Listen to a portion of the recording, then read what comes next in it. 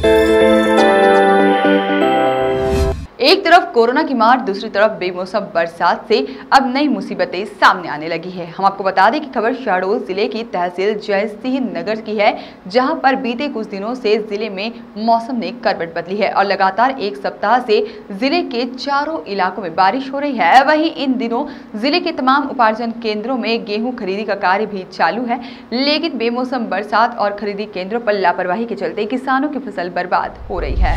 ज़िले के इन खरीदी केंद्रों पर के मुखिया लगातार भ्रमण भी कर रहे हैं और उपार्जन केंद्रों में किसानों को किसी भी तरह की असुविधा न हो सोशल डिस्टेंसिंग का पालन हो और खरीदी की गई फ़सल को सुरक्षित रखने के तमाम दिशा निर्देश दे रहे हैं। बावजूद इसके लापरवाही साफ़ देखने को मिल रही है, जहाँ बेमौसम हुई बारिश से न सिर्फ़ खरीदी गई फ़सल भीग रही है, बल्कि किसानों को भी उपार्जन केंद्र में कई सुविधाएँ नहीं मिल पा रही है, जिससे लाखों की फ़सल बर्बाद होने के साथ ही संक्रमण के बढ़ने की संभावना ही बढ़ती नज़र आ रही है। हो गया हूँ मेरा।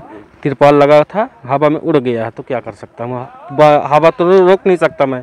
तिरपाल में पूरी जगह लगवाया था हवा में उड़ उड़ गया है।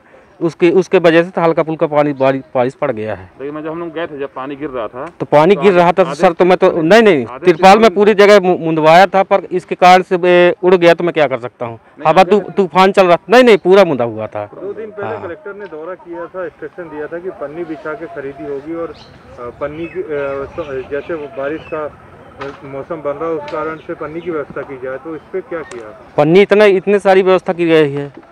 बहुत सारी पन्नी व्यवस्था की गई है। फिर भी गेहूँ कहीं कहीं गीला तो तूफ़ान के चलते अगर तिरपाल उड़ गया सर तो मैं क्या कर सकता हूँ? ये पूरी टूट गई हैं तो मैं क्या कर सकता हूँ? तूफ़ान को तो नहीं रोक सकता मैं। क्या नाम है आपका? Dhirendra Kumar Gupta.